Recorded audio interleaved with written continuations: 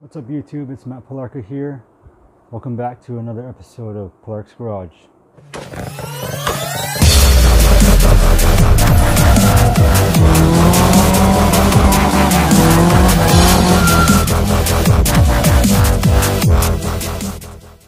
Alright, so first off, I want to apologize uh, for not, I guess, posting as much. And this is going to be completely different from, from what I'm really wanting to post. Some different content, I guess. What I have here today for you is the Samsung Galaxy S10e. The reason why I have this here is because I cracked my S9 for the third time and I'm not gonna fix it. So I actually ordered this phone through BH Photo Video and thanks thanks to them that it came in on a timely matter, especially to where I'm at right now. So this is actually gonna be the first time actually opening this box, so it's kind of like an unboxing. You know, check out what's inside. So here we go. Hopefully uh, everything's pretty cool. Or the black S10e. Pretty nice packaging. Pretty cool stuff. Actually, don't know what's in here, but we'll find out.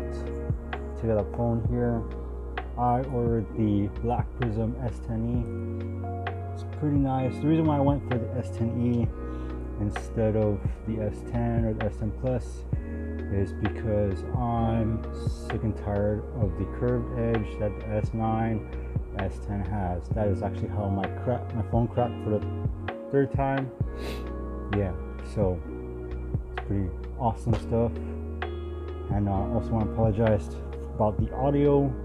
Actually have a Rode mic, but it's a used Rode mic and it's not plugging into my phone properly. So I'm actually waiting for some cable and stuff so I can MacGyver it. Comes out with this 128 gigabyte SD card, which I was not expecting. Pretty cool. Pretty standard stuff that's in here.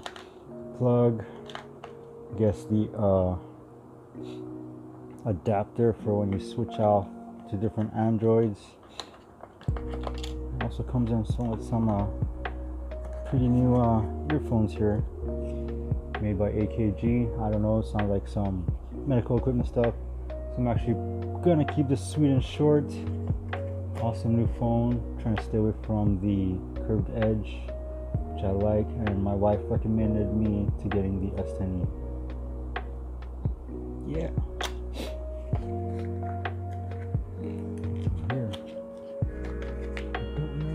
Oh yes, it comes with a little cheap plastic case, which I will not be using. I actually cannot use my S10e till my case comes in because I don't want to risk cracking my phone again. Yeah, some guides, pretty cool. Love it. And uh, I guess in a later video I'll talk, be talking about the gear that I'm using. I know you saw the reflection that I'm using a gimbal.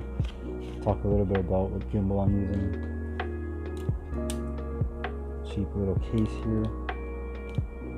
Yeah, that's not gonna protect the phone at all. So I'm definitely not gonna use this.